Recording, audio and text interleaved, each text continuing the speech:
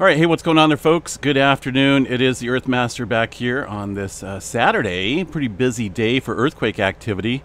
Uh, got a 5.3 earthquake coming into the south. I guess this would be southwestern Australia over here, or western Australia. It depends on how uh, you look at it. A 5.3 coming in just a few minutes ago, 10 kilometers deep. Uh, I am not, I don't have any stations over there that monitor seismic data. I'm not seeing it show up here across the New Zealand area, but then again, uh, that would show up a few minutes later, considering the distance here. Uh, USGS not picking up on it yet. Let's see what we got for data here. If anybody's in the Australia area uh, and you felt this earthquake, uh, ver verify it, please. That way we know if this is a legit earthquake or not.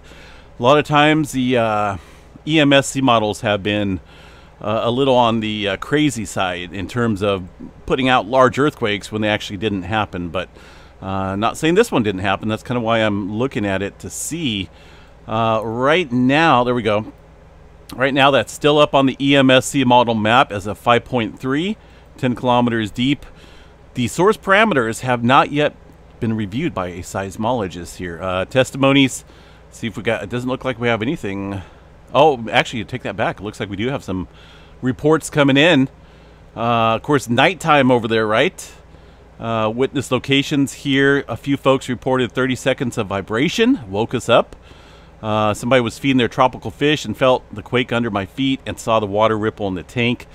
A lot of reports coming in here. Someone laying in bed, bed shook, then window window rattle. Uh, this person here 315 kilometers northwest from the epicenter, very light shaking. So, of course, the closer you are to the epicenter, the stronger that earthquake uh, will obviously be felt. Historical seismicity out here in this area of Australia is very slim pickings. I don't recall the last time we've seen a 5.3 out here in Australia. Uh, again, 5.5 looks like they just upgraded this to a 5.5 there on the Earthquake 3D globe. I do want to pull up here real quick uh, historical data uh, from the USGS with regards to earthquake activity out there in Australia. It's a little rare. We did see some earthquake activity in China this morning, uh, fairly devastating earthquake, very shallow in a highly populated region. So we're getting a lot of unusual earthquake activity uh, striking out here today. So we're just going to check out this region of Australia uh, for 4.5 and above. I just want to do a quick search and see what we have. Uh, today's earthquake, well, it hasn't shown up yet on the USGS map, so we'll, we'll get to it probably uh, here soon. It looks like the last earthquake of somewhat decent size was a 4.7 earlier this year.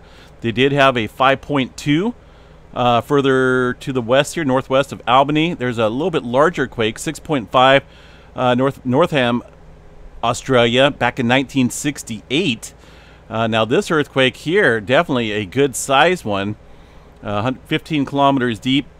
This earthquake looks like it struck just to the east here of this um, this previous one back in 1968, uh, the larger one. So it looks as though Australia does get some large earthquakes out there. Uh, it's not all that often.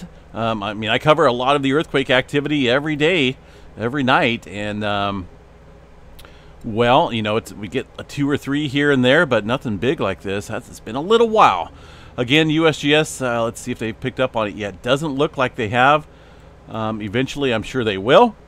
There we go. They, as soon as I said that, they pop up an earthquake, 5.4. So that's definitely a legit earthquake. That means that uh, a geologist, seismologist has reviewed it, and that is uh, currently a legit earthquake here. Uh, obviously, folks reported feeling it. Goodness, if you felt this earthquake, folks, let us know here on the channel in the comments below. Uh, kind of curious to see what kind of shaking you felt. A couple reports in there from the EMSC data reported some vibration, you know, like a vibration type earthquake. That's a I would probably consider that a rumble, so to speak, in that in terms of that type of vibration. But let me let me know what you felt if you're out here within this region. Not 100% certain with population um, density out here. It's well north of Albany. Not for sure what's out here. Um, a lot of different little communities and villages, towns. It looks like, but uh, yeah, let us know And uh, that earthquake S wave looks like it's shown up there on Indonesia station, just barely a little ripple. Um, and again, this comes after some activity there in China, some moderate to large movement out there earlier. The pager system was way up in the red, uh, including some damage to their uh, infrastructure, which is a little bit different than, for example, the States or Australia uh, in terms of, you know, how they build their buildings and houses. So that's why the damage is more considerable uh, from this moderate 5.4 earthquake. All right, folks, we're going to jump off here. Um, let us know. Let us know if you felt uh, if you felt that earthquake. We'll catch you guys a little bit later.